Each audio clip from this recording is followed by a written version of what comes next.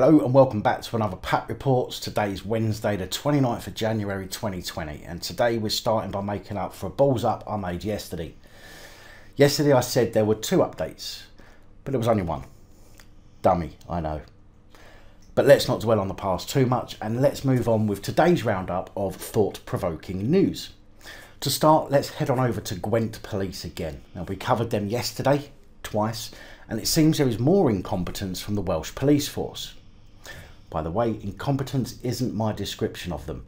That's what Judge Daniel Williams at Newport Crown Court used to describe the force after it took them 13 months to file their case with the CPS, only to have it rejected for further inquiries and a further 15 months to get the case to court over Rhys Lloyd, who was caught with 400 grams of amphetamine in his car, and despite him immediately admitting the drugs were his. Prosecutor Stephen Donoghue told how the defendant was stopped by police on July 29, 2017, after he was spotted driving a Honda erratically. And although the drugs were found on one of his passengers, Lloyd admitted that the drugs belonged to him. He also had a mobile phone with drug related messages on it. Mr. Donoghue tried to explain to Judge Daniel Williams why the matter had taken two and a half years to come to court. To this, the judge replied, it wasn't enough, was it, that he had 400 grams of speed in his car? He added, the prosecution of this case has been lamentable. When you read of a police officer boasting about how thorough his statement is, it's hard to bear. Perhaps they won't be so inclined to be so smug in future. Lloyd, 30, pleaded guilty to possessing amphetamine with, with intent to supply. When Judge Williams said that he would be imposing a short suspended jail sentence, Lloyd's barrister Julia Cox said there was no need for her to offer mitigation to the court. Judge Williams told Lloyd the unconscionable delay in this case wasn't your fault. It was down to the incompetence of the police and the CPS. Lloyd was jailed for 12 weeks, suspended for 12 months, and ordered to pay a £115 surcharge. As you can imagine, when leaving court, Lloyd and a woman were seen laughing to each other.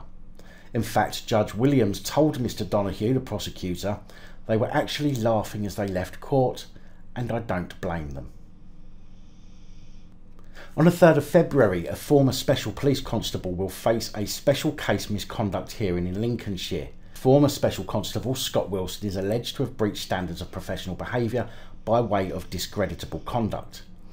The allegations are that on the 29th of September 2019, whilst off duty, during an argument with another person, he prevented them from leaving his house, forcing them to remain with him.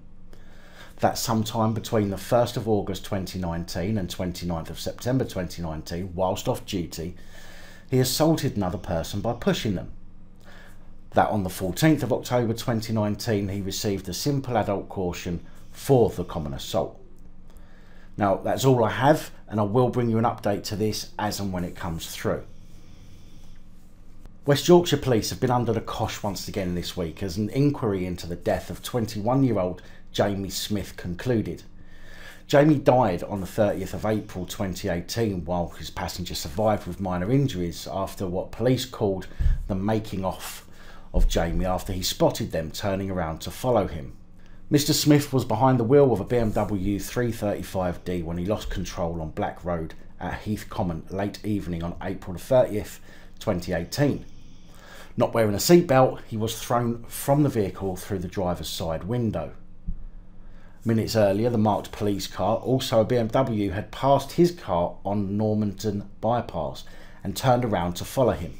The inquest was told that Jamie Smith had been to pick up his best friend Lewis Charlesworth from the police station at Normanton that night, and the pair were heading towards Wakefield when the incident began to unfold. Mr. Charlesworth told the inquest that they had been heading along the road and said only when Jamie saw the police car on the other side of the road and heading in the opposite direction that he sped up.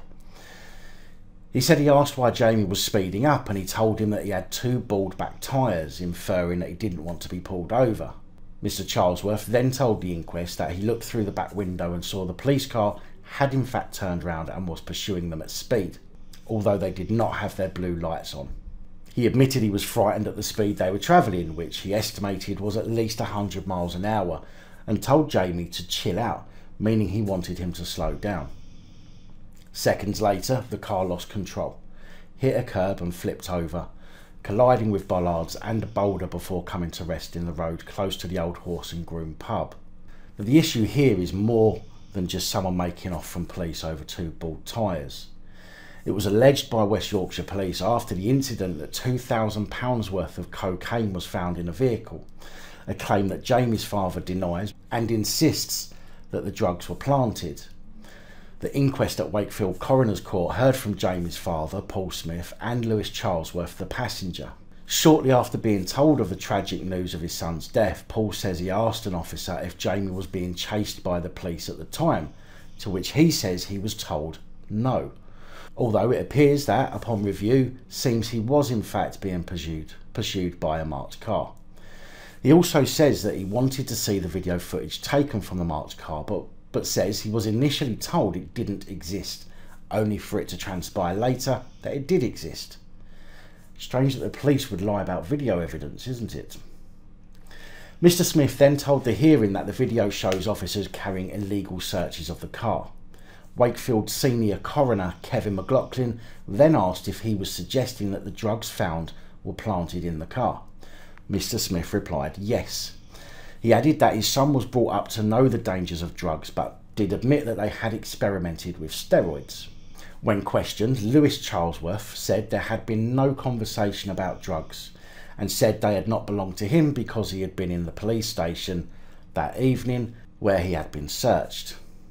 When Mr. McLaughlin asked PC Wilson about the claim the drugs were planted, he replied, I certainly didn't see anyone. I do not understand. A, where would we get that? And B, why would we do it? There's no truth in it at all. Now let's get something clear here. Unless you're an absolute idiot, you don't go anywhere near a farm with any gear on you. Especially two grand's worth of beak. Police love nothing more than a potential easy collar. Picking on someone who's driving to pick up a friend from a police station is an easy target. And I've seen it myself many, many times. Not that I'm making assumptions about West Yorkshire Police or Jamie, just trying to be impartial. Now, the inquest jury found the involvement of the police car contributed to Jamie's own actions, which contributed to his death. In a narrative conclusion, the jury found, or believed, that Jamie Smith knew there were drugs in the car, which is why he tried to flee although in my experience, people run from the police for far, far less.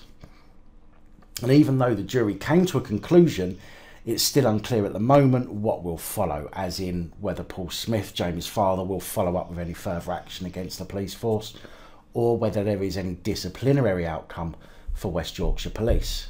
If I do hear of any further updates to this, I will of course update you in future PAP reports. Now, if one report about West Yorkshire Police wasn't enough, today we have a second. These guys just love the attention. PC Dean Wolstencroft, formerly of West Yorkshire Police, has been sacked after a misconduct hearing found him guilty of gross misconduct after assaulting his then partner, also a serving police constable for the force, six times over an eight year period, including putting her in a headlock when she was eight months pregnant. Nice guy. The gross misconduct was as a result of being found to have breached the standards of professional behaviour in relation to discreditable conduct and authority, respect and courtesy, during a misconduct hearing at the Forces headquarters in Wakefield and dismissed without notice. Wolstencroft's former partner described how he had attacked her on several occasions, including when she was pregnant and a previous time when he threw a cigarette lighter at her face causing her a serious eye injury which resulted in hospital treatment. Although all of Wolstencroft's former partner's claims were argued against by his defence, including why she had not reported the assaults earlier, the hearing was told that I didn't want to give a statement and I didn't want to go to court. But this is about my beliefs as a police officer. How can I continue to help victims of domestic violence if I don't report it myself? Obviously, Wolstencroft denied all of the allegations against him, but gross misconduct was proven. PC Paul Fortune, one of Avon and Somerset's finest, who, by the way, saved a young boy's life who was choking on a 2p coin in 2015 and even ended up on a TV show this morning over the incident, has found himself in the limelight once again. Unfortunately, a turn of fortune for fortune, see what I did there, has meant he was the centre of a misconduct hearing this time at Avon and Somerset's Police Portishead headquarters over claims of sexual harassment.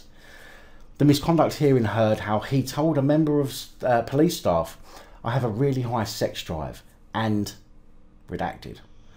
So if you are ever in need of a partner, let me know. When she made it clear she was not interested, PC Fortune told her, Are you saying I'm fat and ugly? And also said to her, What time are you finishing tonight? I can come round to yours after work if you fancy. Although I don't, personally, I don't see anything specifically sexual about that last statement in itself. The woman complained to a sergeant in February 2019 when PC Fortune massaged her shoulders without permission. Ooh, naughty boy. Fortune was said to have also made comments to another female member of police staff, including has redacted touched your special bits. I never touched your special bits when I worked with you.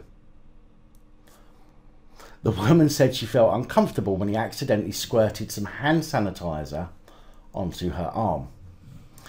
Peter Cadman, chairing the misconduct panel, said the panel looked at the seriousness of the proven matters. None of them were individually found to be gross misconduct, but cumulatively they were. They took place over an extended period of time and were in a background of a more senior officer towards junior officers. On the other hand, both junior officers had positive things to say about PC Fortune. Proven allegations of this nature normally give rise to dismissal without notice. This is the unusual case where a final written warning for such proven matters is actually appropriate and proportionate. I don't know.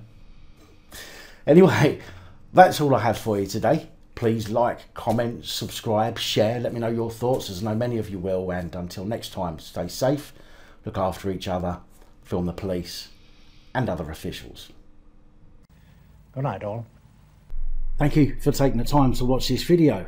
If you like the content and you'd like to help support the channel, you can do so. In the description of every video, there are some links to ways that you're able to help support the channel so I can continue putting out content. If you're unable to help us in that way, hit that subscribe button up the top there. If you haven't already, become a subscriber. That is support enough. Share the videos, comment, like, it all helps. If you're looking for something else to watch, up top there is my latest video. Down the bottom there is a video that YouTube recommends for you.